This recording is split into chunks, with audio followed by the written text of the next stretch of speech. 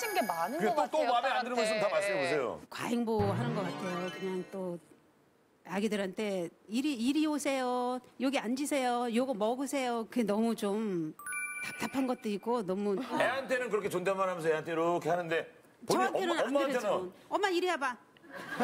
엄마 이거 먹어. 그러면 뭐 차라리. 엄마한테도 존댓말 하면서 애한테도 그러든가. 뭐. 근데 가족끼리는 너무 존댓말하면 좀 식상해요.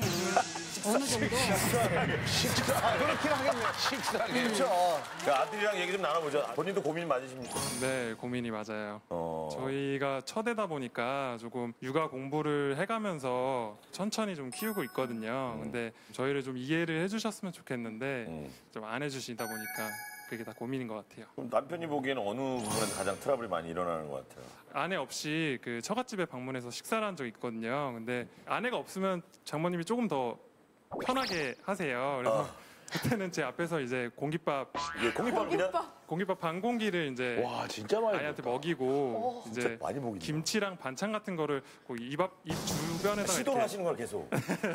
이제 먹으면 네, 먹어라. 그러니까 김치 이런 걸. 네네. 씻어서. 씻는다고 말씀하시는데 안 씻고 그냥 이렇게 근데 안 씻고 그냥 이렇게 오, 진짜? 빨간 거를? 그리고 또? 아이 수저는 젖병 소독기 같은 데다 넣어가지고 아이한테 먹이고 그렇게 육아를 하고 있는데 아이 수저만 따로. 네 맞아요 장모님 같은 경우에는 드시던 수저를 그냥 아이 먹이는데 사용하시니까 아. 그거를 제가 이제 사위 입장에서 말을 할 수가 없잖아요 그래서 집에 와서 조용히 그 와이프한테 일내고. 아니 근데 지금 어머님 얼굴이 되게 안 좋아요. 그러니까 어머니 얘기 어머니 들어보니까 사이가 어때요? 이렇게 생각하는 건 몰랐죠. 몰랐는데. 그죠? 근데 왜 그런 얘기를 안 해요?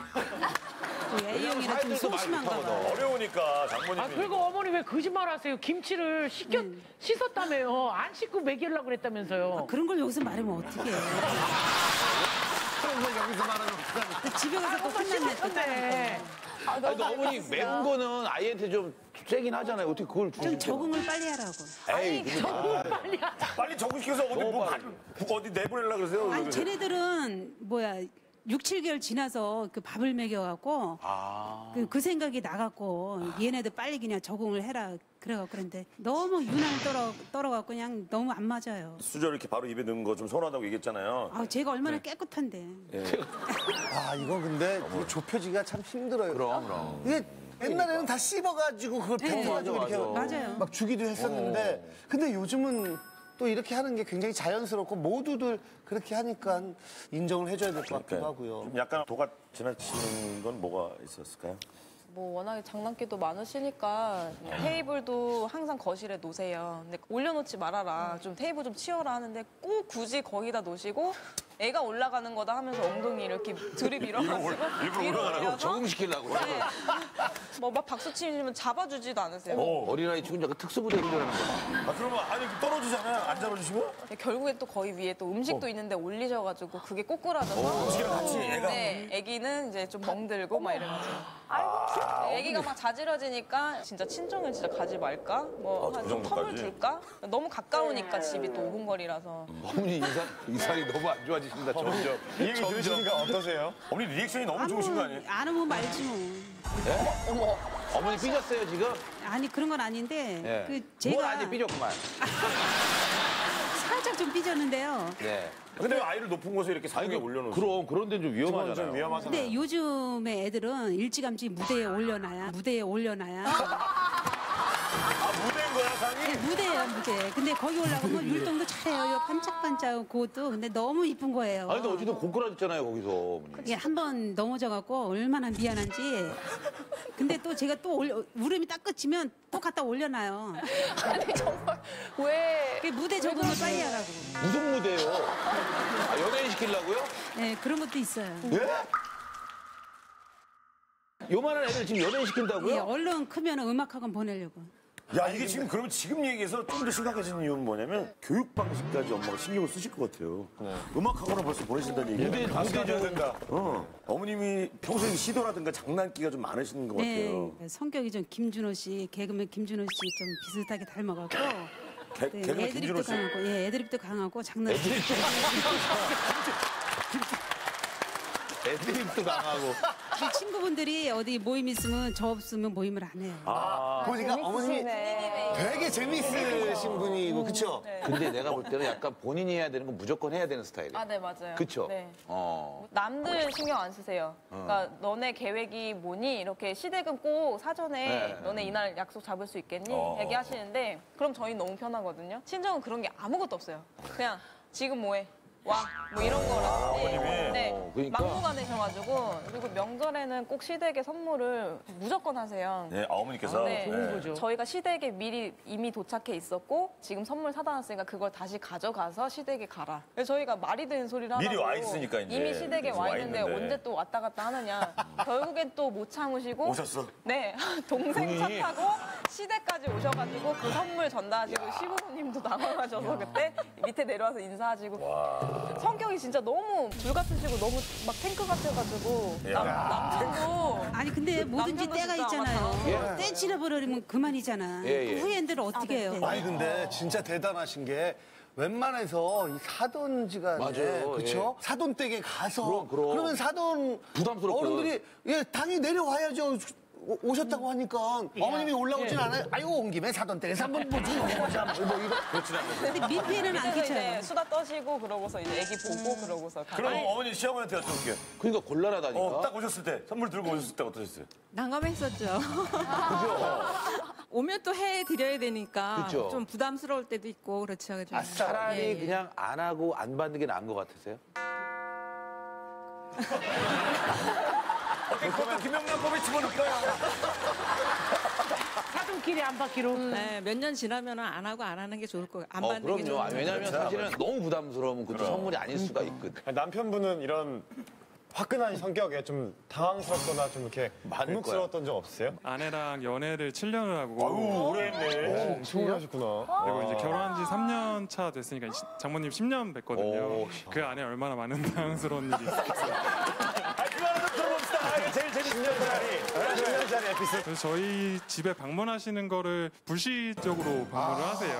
아, 야 이거 무서 이거 위험하다. 예, 엄청 당황스러워요. 친구랑 저랑 이렇게 둘이 있었는데 음. 갑자기 방문을 하신 거예요. 비번 아세요 혹시 어머니? 아, 비번을 모르세요. 어. 음. 갑자기 오셔가지고 문을 두드리시는데 저는 누가 온- 왔는지도 모르는데 나가 보니까 장모님이 어. 친구도 당황하고 저도 당황하고 동생이 생길 수도 있는데. 아, 친구래잖아요. 네.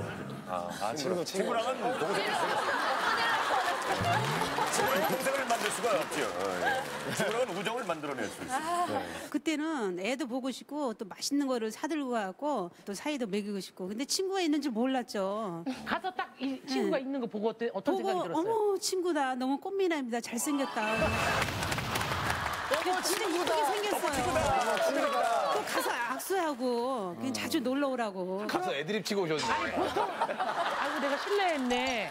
미안하네. 아니 전혀 그런 거 없죠. 그 어머니는 지금 얘기를 들어보면 좀 어, 내가 좀 일방적이다라는 생각은 안 드세요? 아 일방적인 줄 알면서도 그냥 가는 거예요 무조건. 어머니는? 네, 무조건 일방적으로 가는 거예요.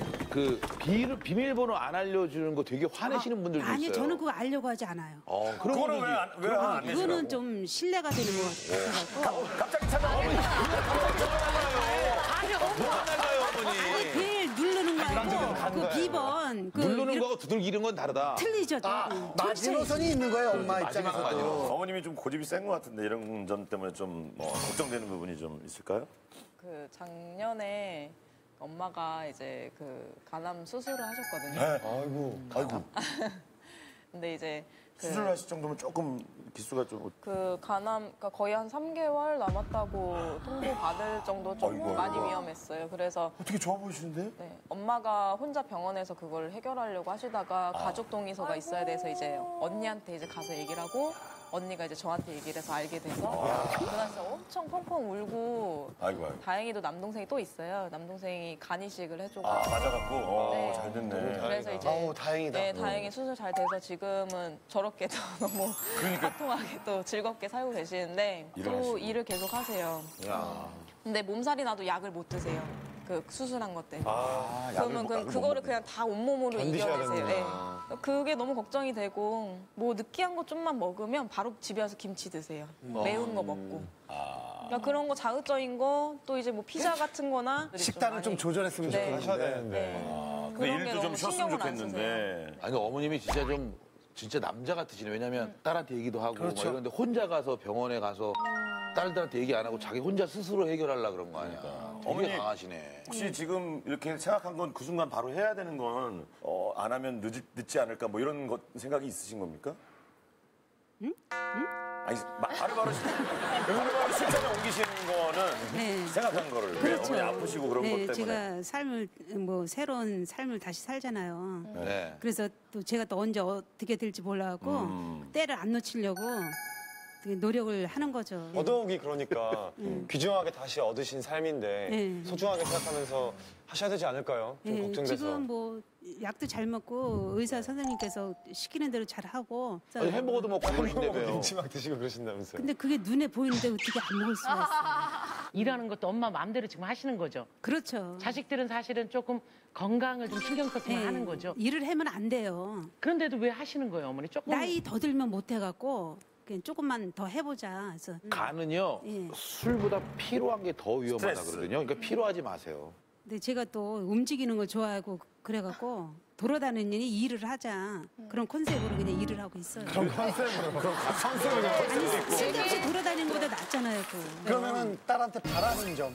바라는 거는 그냥 이왕 애기 어리니까 하선이 동상 하나 더 놔줬으면 하고. 이왕 키울 때 좀 같이 키우게 네, 그리고 돈이 더덜 들고 더 수월하고. 그러니까 막 찾아가시면 안 돼요. 쾅쾅쾅. 그때 낮에 갔어요. 밤에 안 가고. 아, 나 땀이 낮에도 어디 놀수 있어요, 어머니. 어머니가 땀이 어디 있어요. 어머니? 아, 내가 하고 싶은 얘기 다 하네. 어. 그런 생각은 있어요, 진짜? 동생? 아, 네, 지금 둘째 생각은 하는데 남편이 생각이 없어요. 어 왜? 왜요? 남편 어 사위 지금 저희가 둘이 같이 보낸 시간이 없어요. 왜냐하면 친정에도 맡길 수가 없으니까. 근데 이번 그 촬영을 통해서 고민이 이렇게 해결된다면 그 자연스럽게 둘째가 생기지 않을까. 아예 없다고요? 어허 네. 만들어 봐요. 해결해 그렇게 생각하는 거지? 그뭐 무슨 일이라는 건데 몇 시간이 필요한 건지. 어머니의 꿈을 이루고 싶으면 딸이 원하는 대로 해줘야 둘째를 가질 수 있어요. 그렇죠. 지금 어머니 고집대로 하면 둘째 못 가져. 엄마는 신뢰 못 한다니까요. 그래서 엄마한테 못 맡기잖아요.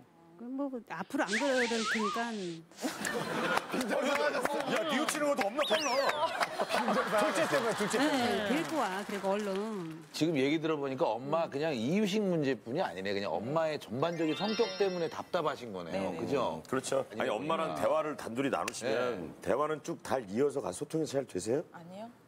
어, 자기 말만 하시니까 그러니까 이런 자리가 없는 거니까 얘기해보세요, 오늘 정확하게. 정확하게 얘기 다 하세요 예. 이제 지금은 조금만 자제해줬으면 좋겠고 그리고 애기 좀 위험한 데다가 안 올려놨으면 좋겠고 그리고 엄마 좀 건강도 이제는 좀 챙기셨으면 좋겠어요. 알겠습니다 자 우리 게스트분들부터 고민이라고 생각해요. 그러니까. 약간 저희 어머님이랑 성격이 비슷하신 것 같아요. 아, 그래요? 네, 되게 빠르시고 되게 불 같으시고 어. 약간 대화를 할 때 좀 답답한 부분이 있거든요. 저는 아기뿐만 아니라 아, 그런 성향을 좀 고치셔야 어머니 그 수술하신 것도 좀 치유하시는데도 도움이 좀 되고 천- 천천히 생각하시고 네. 여유 있게 행동하시면 좋을 것 같은데 음, 따님의 걱정이라고 생각합니다.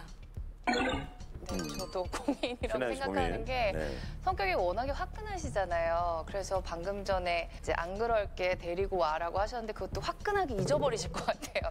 그게 반복이 계속 될 것 같아서 자 아, 우리 따님의 고민이 고민이라고 생각되시면 눌러주세요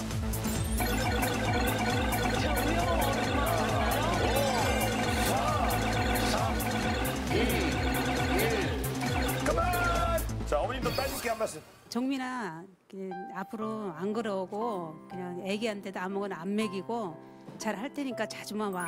그 네가 원하는 대로 다 해줄게. 걱정하지 말고. 왜 안 믿겨지냐? 아, 안 믿겨. 바로 내일 오실 것 같아요. 어, 애들이 워낙 재미나는 애들이. 여러분 엄마 말이 믿겨요? 아예 어머님. 아 이제 거예요. 믿음을 가져. 걱정하지 마. 네. 아유, 아유, 알겠습니다. 자, 결과, 결과 보여주시죠. 자, 끝자리요. 100은 넘어갔고. 자, 88표가 어, 첫 번째인데요. 자, 100. 100장